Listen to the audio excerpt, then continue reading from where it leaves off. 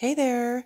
Uh, I just wanted to give you a quick demo on um, what a lot of people are doing is the backgrounds that look like a pair of jeans or some part of the denim um, and they look so cool but I just wanted to show you how easy it really is and um, give you a quick demo. So I think the hardest part for me was to get this pair of jeans out of my husband. Um, they're totally torn up, the crotch is torn out, everything else and he still was reluctant to let me have them for this project. But anyway, I was able to talk him into it. So here we are.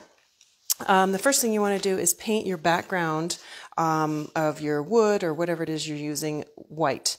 Um, that's important for the, the show through at the end.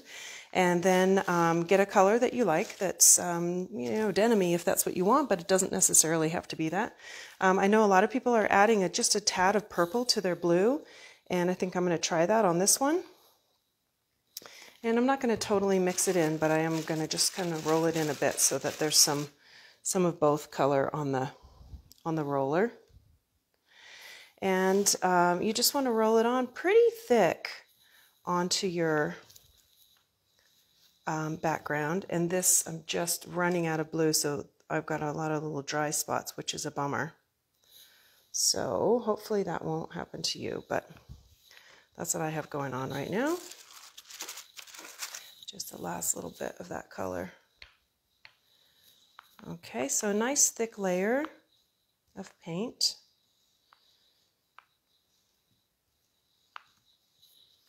All right, I think I'll pick off that bit, big blob of dried up paint.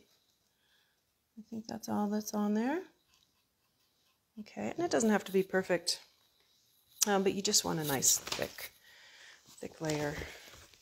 Um, and then I decided I'm going to try to get all of one pocket and maybe some of this edge piece here. Um, so I'm just going to lay it on.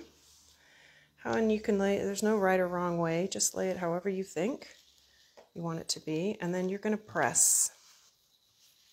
You don't want it to slide around on there any more than necessary, and you don't want to press finger marks into it. So it's just a matter of just kind of rubbing it down all the way around.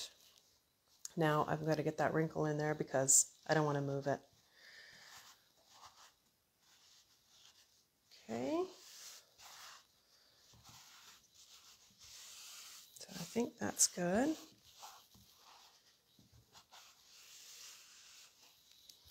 All right. And there we go. It's as simple as that.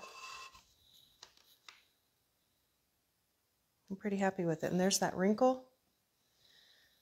I think that looks cool. There's the waistband. I could go um, back and redo this part, but I think I'm going to leave it. I like how it looks. All right. I'd love to see yours. Give it a try and post me a picture.